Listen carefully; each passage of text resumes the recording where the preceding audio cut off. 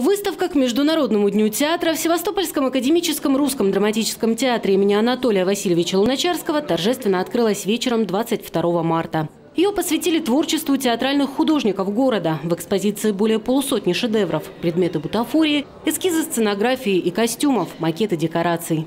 Набор пещер, богатств хозяйки Медной горы. Одна малахитовая, другая э, из родонита, третья вот синяя, там лазурит есть разные. Свет э, на сцене, он это все немножко преобразует и становится такое объемное, э, микширует все эти резкие цвета. На самом деле он там более эффектно, конечно, смотрится. Приходите, пожалуйста, и посмотрите с детьми.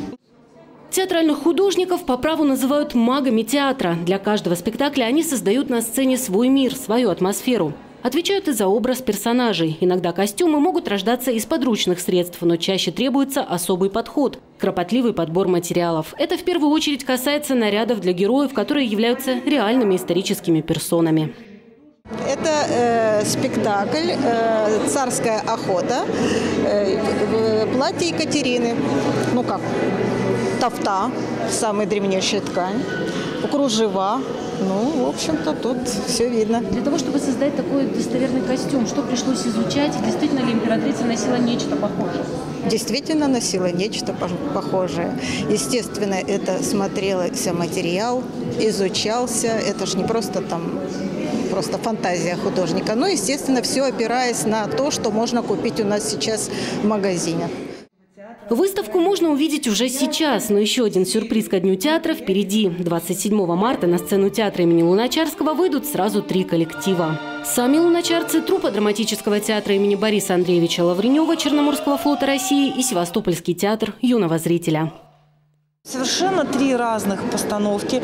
Вы увидите, это совершенно разный стиль, эстетика, совершенно разный авторский почерк режиссера. Но вдруг, вот, наверное, как бы каким-то вот этим фоновым сознанием, атмосферой это все соединилось вот э, каким-то волшебным образом действительно в единое целое. Самое главное, что мы знали, что мы не будем ограничены рамками чего бы то ни было, а можно хулиганить. И э, как-то мы даже вот не было духа соревнования, да, а скорее был дух такого взаимовдохновления зрения. Совместный творческий эксперимент получил название «Ломаем комедию». Артисты решили соблюсти театральную традицию – готовить к празднику водевили. Театр Луначарского представит водевиль Чехова «Предложение». А, театр э, а, Черноморского флота у нас представляет «Медведя» Чеховского. И «Дедушкиных попугаев» э, у нас показывает «Тюз». Водовили трех севастопольских театральных коллективов в рамках одной праздничной программы горожане смогут увидеть не только в День театра. Спектакль-концерт артисты покажут еще и 6 апреля, так как спрос на билеты уже превзошел все ожидания. Наталья Данилова, Денис Александрович, Севинформбюро.